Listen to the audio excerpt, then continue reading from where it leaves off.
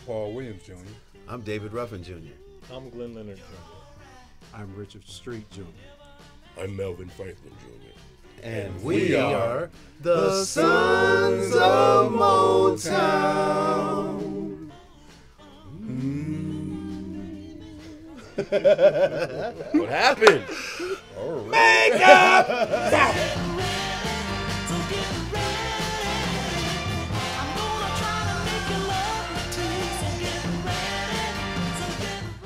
consider them the greatest group in the world, and we are the sons of these men who have established this great legacy. All okay, all juniors, all right.